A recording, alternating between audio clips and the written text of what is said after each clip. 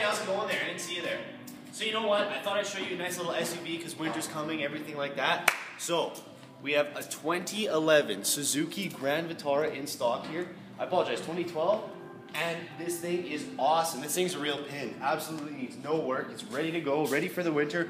All-wheel drive, everything like that. So I'm just gonna run over a couple features on it.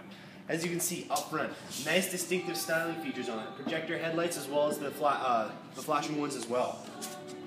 I'm gonna open up this hood here. If I can figure out how.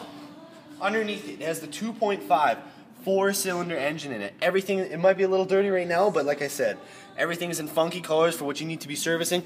Battery, coolant overflow, power steering, um, uh, windshield washer fluid, and uh, your master cylinder located up there. So really nice and easily laid out in this guy. Yeah. I want to show you around back of this as well. This is a Suzuki, so it's a little less, uh, little less conventional to say the least. Uh, nice and rare to be on the road and standing out. Your spare is located on the back here. Also another safety feature. Someone's running, uh, not paying attention. Someone slides into you. You're just gonna bump up your back, uh, your back tire there. So you'll be all good to go. So it's got the power opener on this guy, uh, the hydraulic I should say. Privacy screen just folds down like this, and it's all good to go. Let's put that guy back there. So I'm gonna open up this bottom part, and you can see it's got this nice little storage with an LA Nissan uh, plate in there. Jack is located on the left hand side, as well as a uh, 12 volt and a nice little light there as well, so you can keep the whole shebang going. So, I'm going to shut this guy up here. Oh, one more feature I will add.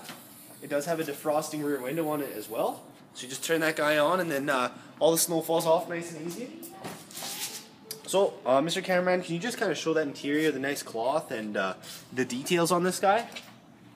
Very sharp unit.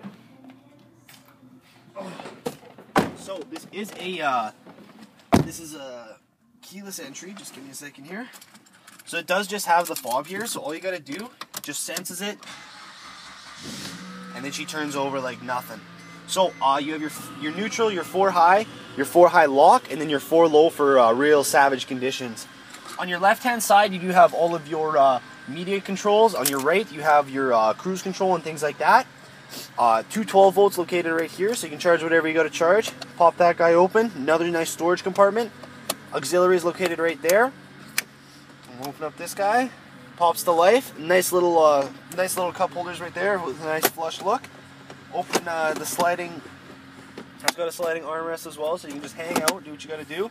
And in here, you have a nice little center console with a big glove box, just right here. So you know what? This is a nice unit. I want to help you out and get and uh, find a vehicle that works for you. So you can reach me here 780-769-0060 or on my personal cell phone at 780-246-3139. Thank you. Have a good one. I hope to hear from you soon. Bye bye.